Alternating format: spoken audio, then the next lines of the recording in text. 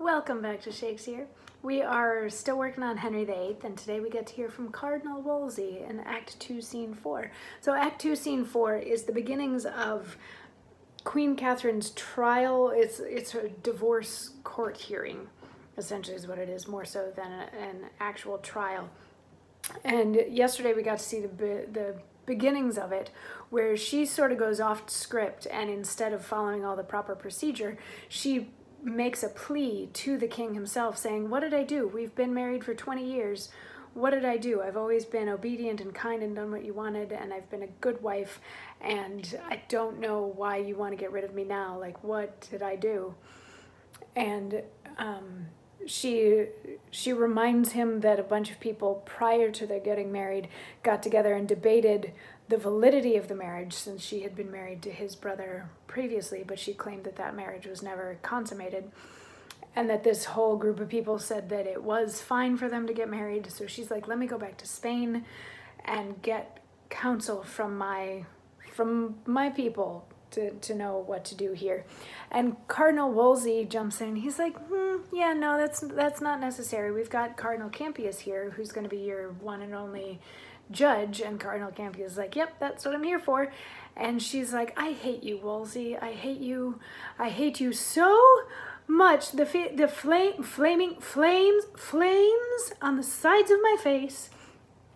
Um, and he responds to her little tirade saying how much she hates him and mistrusts him by saying, I do profess you speak not like yourself, whoever yet have stood to charity and displayed the effects of gen disposition gentle and of wisdom o'ertopping woman's power. Madam, you do me wrong.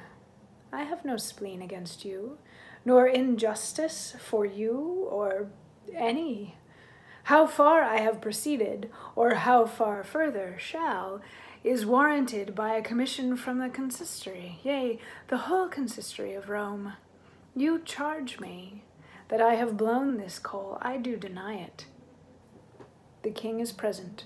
If it be known to him that I gainsay my deed, how may he wound and worthily my falsehood, yea, as much as you have done my truth?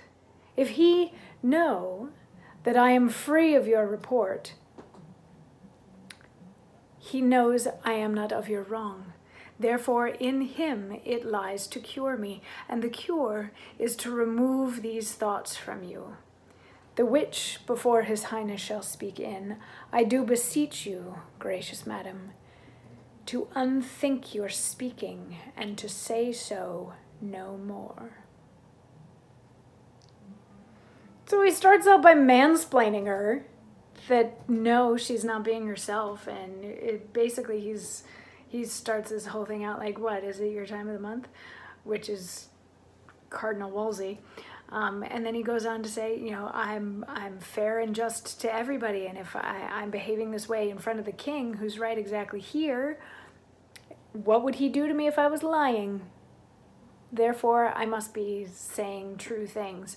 So you're the one that needs to check yourself and rethink your position on all of this, rethink your demands, and then we can proceed. And tomorrow we get to hear her rebuttal. Otherwise, I would tell you more about what happens in the scene. But no, we get to hear it. We get to hear her exact response tomorrow. So I will see you then for that. Mwah.